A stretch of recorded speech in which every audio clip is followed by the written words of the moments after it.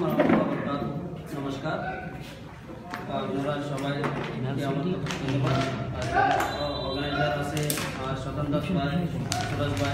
এবং সবাইকে ধন্যবাদ। আজকে আমি একটা কথা বলার জন্য মৌকা পাইছি। আমাদের রোহিঙ্গারা কীভাবে জুলুম হচ্ছে, কীভাবে দেশের থেকে বাইরে হচ্ছে, আপনারা সবাই জানেন, মিডিয়াগুলো সবাই জানে, ওইটা আমি বলতে চাই না। আবার আপনারা যদি সব কিছু জানতে আপনারা আমাদের ওয়েবসাইটে যাইয়া দেখতে পারবেন সব ডিটেল আমি ফার্স্ট অফ অল আমি ইন্ডিয়া গভর্নমেন্টের আমরা থ্যাঙ্কস বলছি। আমরা টেম্পোরারি এখানে থাকার জন্য আমরা যান বাঁচাতে পারছি ফ্রিডম আছি এখন, কমসে কম। আর বাকি লোকগুলা ক্যামে থাকছে, কমসে কম আমরা ফ্রি আছি। বর্মার থেকে ভালো আছি, বাংলার থেকে ভালো আছি। এই জন্য আমরা ইন্ডিয়ার পাবলিকে ইন্ডিয়া গভর্নমেন্টে আমরা সুবিধা করছি। আর ওয়েস্ট বেঙ্গল গভর্নমেন্টের ওয়েস্ট বেঙ্গল পাবলিকে আমরা একটা রিকোয়েস্ট করার জন্য।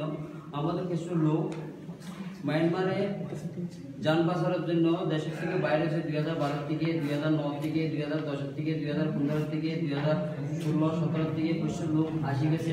তো কিছু লোক এরা আমাদের দেশে নাগরিকা নাই, আমাদের দেশে সিটিজেনশিপ নাই, আমাদের দেশে কোনো ডকুমেন্টই নাই।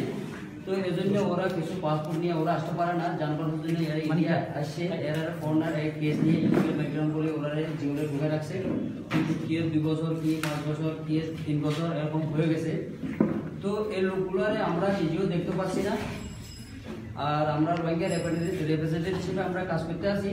লোকগুলো পঞ্চিওর আছে, কতদিন ধরে থাকছে ওরা কি জিন্দে আছে, কি মরে গেছে, ওগুলো আমরা জানি না। আর ওর মা আছে, বাপ আছে, ভাই আছে, কি আলাদা আলাদা জায়গা আছে, ওরা নিজেও খবর পাচ্ছে না। কিন্তু আমরা সোশ্যাল মিডিয়া আর ওয়েবসাইটের জন্য মিডিয়া থেকে কিছু কিছু কাজ করছি, কিছু লোক বাইরে এসছে কিছু লোক আমরা দেখছি। দেখার জন্য আমি এখন বিভিন্ন জায়গার জীবনে আর কন্ট্যাক্ট যদি ওরা এখানে অবশ্যই বাইরে আছে, এরা কন্ট্যাক্ট যদি একশো নয় জনের লোক জিওলের ডিটেল আমার কাছে আছে। কিন্তু ভাই, যেগুলো আমি জেরাতে শুনি, এই দুশো তিরিশ জন ওয়েস্ট বেঙ্গলের জিওলের লোক আছে বলছে, কিন্তু আমি দেখতে পারি না, আমি ওরা ডিটেল পাই না। তখন আমি, এই যতগুলো এখানে হিউম্যান রাইট অর্গানাইজেশন আর যতগুলো এখানে কমিউনিটি আছে কমিটি আছে এর কাছে আমি রিকোয়েস্ট করছি, এই লোকগুলো দেখার জন্য একটা গভর্নমেন্টের পারমিশন দেওয়ার জন্য আমি চাচ্ছি।